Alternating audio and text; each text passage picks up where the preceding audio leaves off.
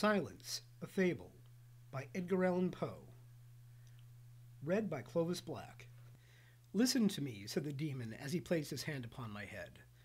There is a spot upon this accursed earth which thou hast never yet beheld, and if by any chance thou hast beheld it, it must have been in one of those vigorous dreams which come like the simoon upon the brain of the sleeper who hath lain down to sleep among the forbidden sunbeams. Among the sunbeams, I say, which slide from off the solemn columns of the melancholy temples in the wilderness. The region of which I speak is a dreary region in Libya, by the borders of the river Zaire, and there is no quiet there, nor silence. The waters of the river have a saffron and sickly hue, and they flow not onwards to the sea, but palpitate forever and forever beneath the red eye of the sun with a tumultuous and convulsive motion. For many miles on either side of the river's oozy bed is a pale desert of gigantic water lilies. They sigh one unto the other in that solitude, and stretch toward the heaven their long ghastly necks, and nod to and fro their everlasting heads. And there is an indistinct murmur which cometh out from among them like the rustling of subterranean water, and they sigh one unto the other. But there is a boundary to their realm, the boundary of the dark, horrible, lofty forest. There, like the waves about the Hebrides, the low underwood is agitated continually, but there is no wind throughout the heaven, and the tall primeval trees rock eternally hither and thither with a crashing and mighty sound.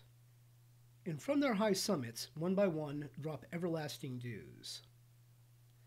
And at the roots strange poisonous flowers lie, writhing in perturbed slumber and overhead, with a rustling and loud noise, the gray clouds rush westwardly forever, until they roll, a cataract, over the fiery wall of the horizon. But there is no wind throughout the heaven, and by the shores of the river Zaire there is neither quiet nor silence. It was night, and the rain fell, and, falling, it was rain, but having fallen, it was blood and I stood in the morass among the tall lilies, and the rain fell upon my head. And the lilies sighed one unto the other in the solemnity of their desolation. And, all at once, the moon arose through the thin ghastly mist, and was crimson in color. And mine eyes fell upon a huge grey rock which stood by the shore of the river, and was litten by the light of the moon. And the rock was grey and ghastly and tall and the rock was gray. Upon its front were characters engraven into the stone. And I walked through the morass of water lilies until I came close unto the shore, that I might read the characters upon the stone. But I could not decipher the characters. And as I was going back into the morass, when the moon shone with a fuller red, and I turned and looked again upon the rock and upon the characters, and the characters were desolation.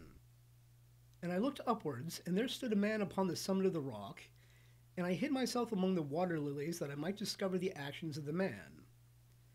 And the man was tall and stately in form, and was wrapped up from his shoulders to his feet in the toga of old Rome. And the outlines of his figure were indistinct, but his features were the features of a deity, for the mantle of the night, and of the mist, and of the moon, and of the dew, had left uncovered the features of his face.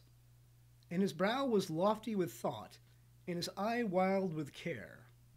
And in the few furrows upon his cheek, I read the fables of sorrow and weariness, and disgust with mankind, and a longing after solitude. And the moon shone upon his face, and upon the features of his face, and oh, they were more beautiful than the airy dreams which hovered about the souls of the daughters of Delos. And the man sat down upon the rock, and leaned his head upon his hand, and looked out upon the desolation. He looked down into the low, unquiet shrubbery, and up into the tall primeval trees, and up higher at the rustling heaven, and into the crimson moon. And I lay close within shelter of the lilies, and observed the actions of the man.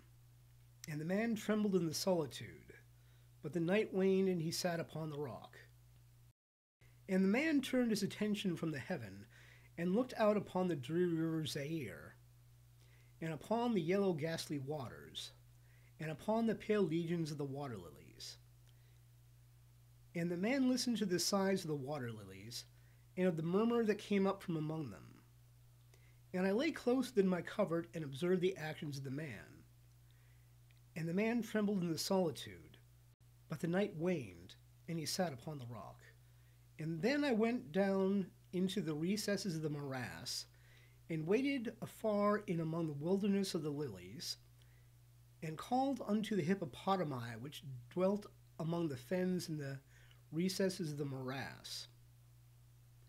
And the hippopotami heard my call, and came with the behemoth unto the foot of the rock, and roared loudly and fearfully beneath the moon. And I lay close within my covert, and observed the actions of the man. And the man trembled in the solitude, but the night waned, and he sat upon the rock. Then I cursed the elements with the curse of tumult, and a frightful tempest gathered in the heaven where before there had been no wind. And the heaven became livid with the violence of the tempest, and the rain beat upon the head of the man, and the floods of the river came down, and the river was tormented into foam, and the water lilies shrieked within their beds, and the forest trembled before the wind, and the thunder rolled, and the lightning fell, and the rock rocked to its foundation. And I lay close within my covert and observed the actions of the man. And the man trembled in the solitude, but the night waned, and he sat upon the rock.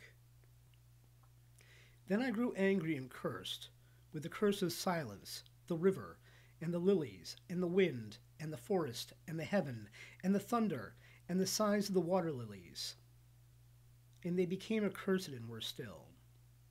And the moon ceased to totter in its pathway up the heaven, and the thunder died away, and the lightning did not flash, and the clouds hung motionless, and the waters sunk to their level and remained, and the trees ceased to rock, and the water lilies sighed no more, and the murmur was heard no longer from among them, nor any shadow of sound throughout the vast, illimitable desert and I looked upon the characters of the rock, and they were changed. And the characters were silence. And mine eyes fell upon the countenance of the man, and his countenance was wan with terror. And hurriedly he raised his head from his hand, and stood forth upon the rock, and listened. But there was no voice throughout the vast illimitable desert, and the characters upon the rock were silence. And the man shuddered, and turned his face away, and fled afar off, and I beheld him no more. Edgar Allan Poe was born in 1809 in Boston, Massachusetts. He had an incredibly sad life. His father abandoned the family when Edgar was just a baby, and his mother died soon after. Foster parents raised him, but eventually disowned him. He dropped out of the University of Virginia due to debt that was partially due to gambling. Although a huge amount of his work was published, he still lived in poverty. Poe married his 13 year old cousin, Virginia. Ew. I'm not condoning it, I'm just telling you about it.